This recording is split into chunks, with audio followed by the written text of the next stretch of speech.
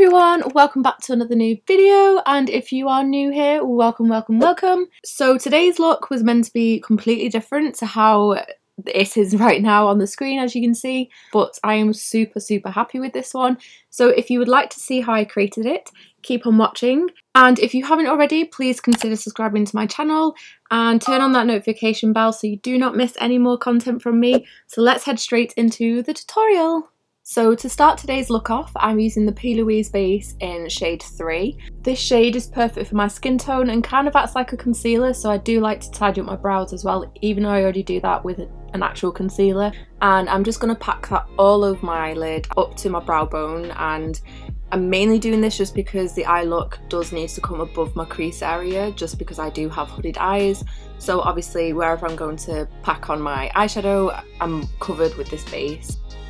For the base colour, I'm diving into Juvia's Place's Magic Palette and taking the shade Kessie, which is this amazing matte beige colour. Honestly, it is hands down my favourite shade for a base colour when I want to open my eye, look up and brighten my eye. I just think it works so well on my skin tone and it blends beautifully and I've been using it for years and I just absolutely love it honestly.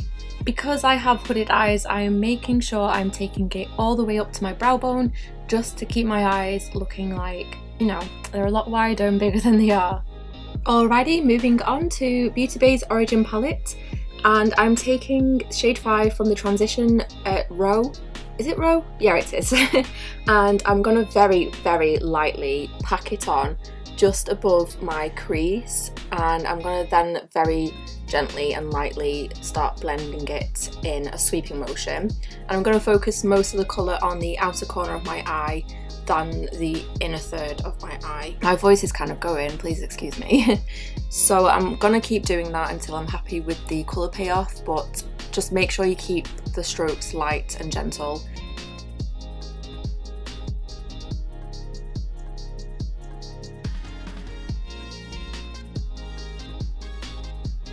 Moving on to the blues, I'm taking Yacht Life from Coloured Raine's Vivid Pigment palette and I accidentally didn't record this part at the start, which rhymes. What I've done is pressed the eyeshadow above my crease very, very gently because I want to keep an eye on how high I'm making the new crease for my eye shape and I'm gently brushing it as well as I go along with like the side of the brush just to work the colour into itself as you can kind of see and I'm going to continue to press it into my crease and just above as well and more or less all over my lid as well. Remember if you have hooded eyes to keep looking straight ahead into a mirror so you can see how your eye naturally relaxes so you're not bringing in the eyeshadow a bit too low rather than above your crease and also keep going back into the first shade that we used to start blending the two colours together and right now I'm just going back over the blue because you can kind of see it's not fully on my lid like it's a bit patchy but that's okay because we are going in with more colours. Switching back to the Magic Palette by Juvia's Place, I'm taking the shade Yejude I think I pronounced that right and it's a really nice matte navy blue and I'm going to focus this right on the outer third of my eye and it's going to help elongate my eye shape. Now because I have a small eye shape and also hooded eyes as well you can see I'm just gently patting it because I don't want to go in a bit too much with this colour and then mess the whole look up obviously and I am switching between this and also Yacht Life from Coloured Raine's palette. I'm not really picking up any new product from Yacht Life, I'm just using the brush with any product left over on it to just help blend the two blues together. And I just want to reiterate, if you do have hooded eyes, just remember to keep looking back straight into the mirror so you can see where you're packing on this colour and to make sure you don't go overboard or underboard with the eye look. Okay, so next I'm taking this black shade from the Beauty Bay Origin palette and I'm going to very, very lightly apply this to the outer corners of my eye to really, really deepen up this eye look and bring it all together a bit more Um, just be super careful with the black, of course, whichever one you use. This one I wouldn't say is the most pigmented black I've ever used, so I think it's quite perfect to add to this look to make sure I'm not using too much product. And I'm going back in with a with a blue. no, I'm going back in with Yacht Life to make sure it's all blended together again. I think this is so important to keep blending all the colours that you've used so you're not making it look a bit rough. Now moving on to the shimmers and I'm taking Cleopatra from the Nubian 2 palette by Juvia's Place and I'm going to apply that all over the very first half of my lid and you can see how super pigmented this uh, shadow is. It's so beautiful. I think it's one of my favourite colours. I'm also very lightly taking it above my crease line as well and then blending it back out with the Yacht Life brush and just buffing out the rest of the eye look as well as adding a tiny bit more black into the look. And here comes another palette by Juvia's Place, which is the Festival palette. And I'm taking this really pretty turquoise colour, which has a really, really nice silver shimmer tone to it.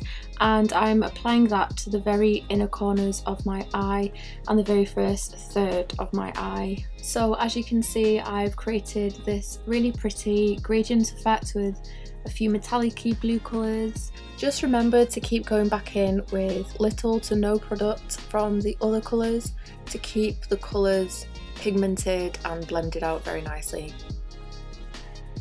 Taking this carbon black eyeliner by X Lash, I'm just going to line my lash line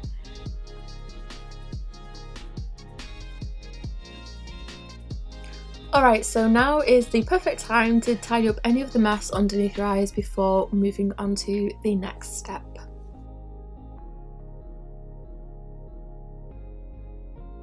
So now I'm taking the P. Louise base again and I'm going to apply it just as if it's a concealer underneath my eye. And then I'm moving on to NYX Professional Makeup's Pigment Primer I got that in my hair. and I'm going to be dabbing that on top of the P. Louise base. You can leave this step out if you want, but I feel like the next shade, the yellow that I'm going to be using, just kind of picked up more pigmentation by applying this underneath it. If you do decide to use a pigment primer, just use the tiniest amount because it does go a long way and this eye area is obviously very sensitive so just be careful. Now moving on to the yellow shade and I'm taking Lemon Drop from Coloured Raine's Vivid Pigment Palette and applying that on my lower lash line. This is a super duper pigmented yellow, honestly. It is so, so good. So you don't actually need the pigment primer, but I do think it does work a lot better applying the shadow on top of the pigment primer. and I totally forgot to get some b-roll footage of the orange shade that I'm now applying on top of the yellow. And it's this matte dusky orange shade called Morocco from Juvia Place's Nubian 2 eyeshadow palette. Now time for some more yellow, so I'm taking the LA Girl Shockwave Neon Liner called Screamin' and it's this incredible yellow colour. I love it so much, I use it almost all the time. I am obsessed with this colour, it is such a good liner. It is so creamy as well, it's not drying or anything and it's ridiculously easy to apply to waterline. Now I'm just applying some more of the blue shade from the Festival palette, just to touch up any lost pigment before moving on to the next shade. Don't worry if you end up getting it on your lower lash line like I have because we are going in with another shade which is this NYX Prismatic Shadow and my daughter has absolutely destroyed this. I don't know if you can see it on camera but it is crumbled and broken. so yeah, I'm just going to apply that on the inner corners of my eye and this is, sorry, in the shade Mermaid and it is literally my most favourite colour to apply on my inner corners. I literally love this shade so much. And it's heartbreaking that my daughter broke it, honestly. It was on the brink of breaking and I remember saying to her dad, I was like, can you just watch out? She doesn't get her hands on it. And like literally, ironically, the day later, it was smashed. So it's okay then. I'll buy like 50 more of them.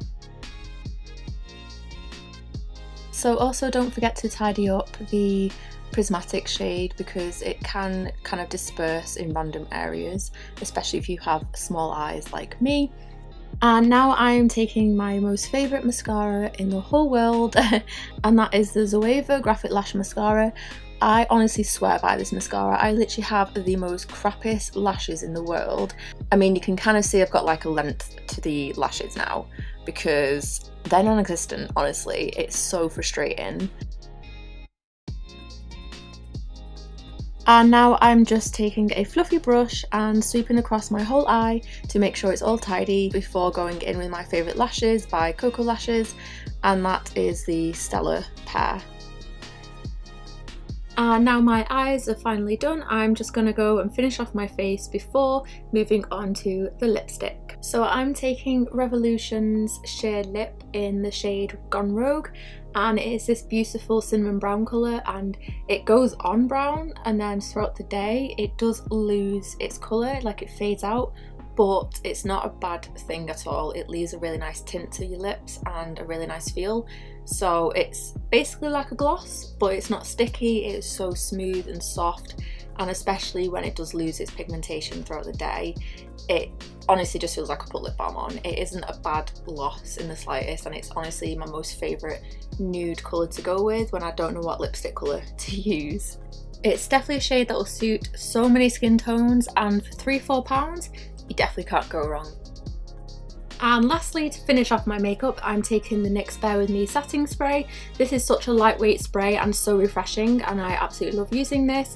And it's also really good to prime your face before makeup and that is the final look. So I hope you've enjoyed watching this tutorial and I have made sense. If you want to recreate this look, please tag me on Instagram if you like. And also don't forget to comment below on this video and give it a big thumbs up and also subscribe if you haven't already. And I'll hopefully see you in my next video. Bye bye!